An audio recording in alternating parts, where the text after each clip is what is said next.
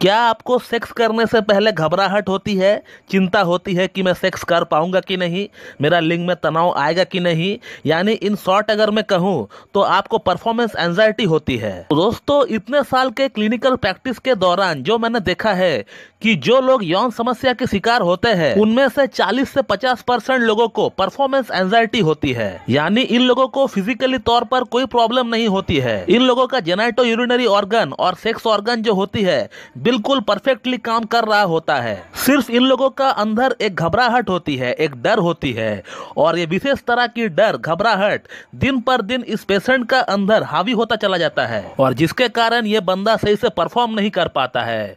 और जिसके कारण ये सोच, ये डर एक बीमारी में तब्दील हो जाता है। तो दोस्तों, आज इस वीडियो में आप लोगों को मैं परफॉर्मेंस एंजाइटी के बारे में बताने वाला हूँ। और इस वीडियो का अंत में आप लोगों को मैं एक होम्योपैथिक मेडिसिन का नाम भी बताने वाला हूँ, जिसे आप यूज़ करके आपका अंदर इस डर को, इस एंजाइटी को, इस घबराहट को आप दूर कर सकते हैं। और इसी डर के कारण आपका लिंग में तनाव की जो कमी हो जाता है संभोग के दौरान, लिंग में ब्लड सप्लाई प्रॉपरली नहीं हो पाता है तो इन प्रॉब्लम्स को भी ये मेडिसिन एकदम जड़ से समाप्त कर देगी। तो दोस्तों, जब भी कोई बंदा का नया नया शादी होता है, या फिर वो बंदा अगर कोई नया पार्टनर से मिल रहा होता है तो शुरुआती दिनों में ऑलमोस्ट फिफ्टी लोगों में ऐसा होता है कि वो पूरी तरह हंड्रेड परसेंट अपना परफॉर्मेंस दे नहीं पाता है। या तो पूरी तरह तनाव नहीं आता है, या फिर टाइमिंग की कमी रहता है। और ये प्रॉब्लम लगभग 40 से 50 परसेंट लोगों को अपना शुरुआती दिनों में होता ही होता है, जो कि बहुत ही कॉमन है। इसको लेकर टेंशन लेने की बिल्कुल भी ज़रूरत नहीं है। क्योंकि हम इंसान अगर कोई भी काम करते हैं तो उस काम का पहला दिन से ही हम लोग उसका हंड्रेड परसेंट एफिशियंट के साथ हम लोग नहीं कर सकते हैं। हम इंसान उस काम को धीरे धीरे सीखते हैं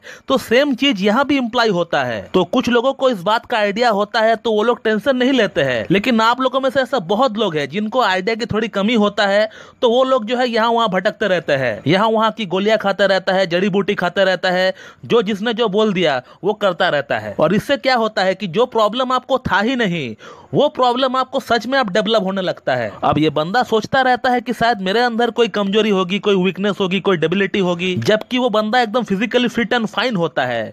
बंदे को मॉर्निंग इरेक्शन आ रहा होता है पौन देखकर हस्तमैथुन करने पर लिंग में तनाव आ रहा होता है। लेकिन जब भी वही बंदा अपना पार्टनर के पास जाता है तो उसको तनाव की कमी महसूस होता है। ढीलापन आ जाता है या फिर शीघ्र पतन हो जाता है, या दिल का अंदर एक अजीब सी घबराहट सी इनको स्टार्ट हो जाता है। लेकिन अगर आपका मॉर्निंग इरेक्शन सही से हो रहा है, जब आप रात को नींद में उठते हो, उस समय आपका लिंग में तनाव हो रहा है तो ये पूरी तरह साइकोलॉजिकल प्रॉब्लम है। यानी आप एक परफॉर्मेंस एंजाइटी का पेशेंट है। अब इस परफॉर्मेंस एंजाइटी को ठीक करने के लिए, अगर हम दूसरी तरह की यौन ऊर्जा को बढ़ाने वाली मेडिसिन खाएँगे तो उससे हमें बिल्कुल भी फ़ायदा नहीं होने वाला है। अमूमन लोग यहीं पे गलतियाँ करते हैं, लोग क्या करते हैं कि लोग जो है वीडियो देखकर आर्टिकल पढ़कर सिल्डेनाफिल सिट्रेट टाडालाफिल ये सब मेडिसिन जो है खाते रहता है लिंग में सप्लाई को बढ़ाने के लिए। अब उसी जगह पर कुछ लोग होम्योपैथिक मेडिसिन खाते रहते हैं। ये सोचकर क्योंकि होम्योपैथिक मेडिसिन में तो साइड इफ़ेक्ट होता नहीं है तो चलिए क्यों ना होम्योपैथिक मेडिसिन ही खाया जाए। अब इस तरह से मेडिसिन खाने का कारण से क्या होता है कि आपका अंदर जो प्रॉब्लम था ही नहीं, वो प्रॉब्लम अब सच में आपका अंदर डेवलप होने लगता है। क्योंकि होम्योपैथिक मेडिसिन का तो प्रिंसिपल ही यही है कि आप जिस प्रॉब्लम के लिए वो पर्टिकुलर मेडिसिन खा रहे हो, और अगर आपका अंदर वो पर्टिकुलर प्रॉब्लम डेवलप हुआ ही नहीं है, और फिर भी अगर उस मेडिसिन को अगर आप खाए जाएँगे तो आपका अंदर वो प्रॉब्लम कुछ हद तक डेवलप हो सकता है, बल्कि हंड्रेड एंड वन परसेंट आपको होगा ही। और अब इस परफॉर्मेंस एंजाइटी के लिए जो मेडिसिन का नाम मैं आप लोगों को बताने वाला हूँ, उससे पहले मैं आप लोगों को बताना चाहूँगा कि इस तरह का प्रॉब्लम के लिए परफॉर्मेंस एंजाइटी के लिए होम्योपैथी में कम से कम सौ से डेढ़ सौ मेडिसिन अवेलेबल है, जो कि अलग अलग जनरलिटीज के आधार पर दी जाती है। लेकिन मैं आप लोगों को एक ही दवा का नाम बताऊँगा, और इस मेडिसिन को, जैसे मैं आप लोगों को बता रहा हूँ, अगर आप वैसे वैसे लेंगे तो आपको हंड्रेड बेनिफिट होगा, और आपको कोई एग्रावेशन भी नहीं होगा। तो उस मेडिसिन का नाम है अर्जेंटम नाइट्रिकम।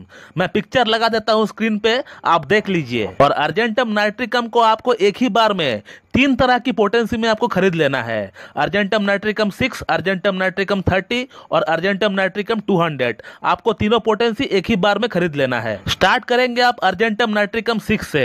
दो बूंद सुबह, दो बूंद शाम को। अप टू फिफ्टीन डेज़, पंद्रह दिन तक के लिए आप ऐसे ही लेंगे। दो बूंद सुबह, दो बूंद शाम को। डायरेक्ट टंग पे आप लेंगे। जैसे ही पंद्रह दिन हो जाता है तो फिर आप जो है सोलवा दिन से अर्जेंटम नाइट्रिकम को थर्टी पोटेंसी में लेना स्टार्ट करिए। लेने का तरीका वही same argent argentum nitricum thirty दो बूंद सुबह, दो बूंद शाम को अप टू फिफ्टीन डेज़ पंद्रह दिन तक के लिए आप अर्जेंटम नाइट्रिकम को ऐसे करके लीजिए। और जैसे ही आपका अर्जेंटम नाइट्रिकम को लेते हुए पंद्रह दिन हो जाता है तो फिर आप अर्जेंटम नाइट्रिकम को स्टॉप कर दीजिए और अर्जेंटम नाइट्रिकम को 200 में आप लेना स्टार्ट करिए। लेकिन याद रखिए अर्जेंटम नाइट्रिकम 200 को आपको 15 दिन तक नहीं लेना है 15 डेज़ तक आपको नहीं लेना है। सिर्फ़ दो डोज आपको लेना है अर्जेंटम नाइट्रिकम 200 का दो डोज दो डोज मतलब दो डोज आप दो बूंद सुबह दो बूंद शाम को ऐसे करके भी आप अर्जेंटम नाइट्रिकम का दो डोज ले सकते हैं, या आज सुबह दो बूंद आपने लिया और कल सुबह आप दो बूंद लेंगे।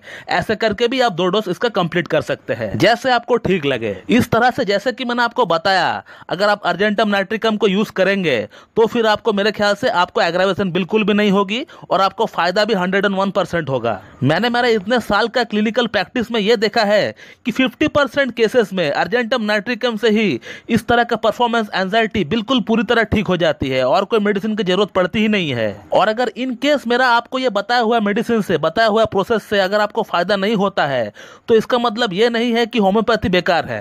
होम्योपैथी काम नहीं करता है। क्योंकि मैंने ये जो मेडिसिन बताया है आपको, ये एक अनुमान के तौर पर बताया है, इसको छोड़कर भी और भी ढेरों मेडिसिन है, जो कि इस तरह के परफॉर्मेंस एंजाइटी में काम आती है। तो अगर अर्जेंटम नाइट्रिकम काम नहीं कर रहा है आपका अंदर तो हो सकता है आपको कोई और मेडिसिन की ज़रूरत पड़ेगी। और जिसके लिए अगर आप कोई एक क्लासिकल एमडी होम्योपैथ के पास जाकर अपना एक पूरा केस हिस्ट्री देंगे तो मेरे ख्याल से आपको वो जो मेडिसिन देंगे तो उससे आपका प्रॉब्लम जो है सॉर्ट आउट हो जाएगा। तो दोस्तों, ये था एक short video about performance anxiety और मैं उम्मीद करता हूँ कि आप लोगों को मेरा ये वीडियो पसंद आएगी और मेरा ये जो वीडियो है, आप लोगों के लिए लाभकारी साबित होगी। So thank you very much and have a good day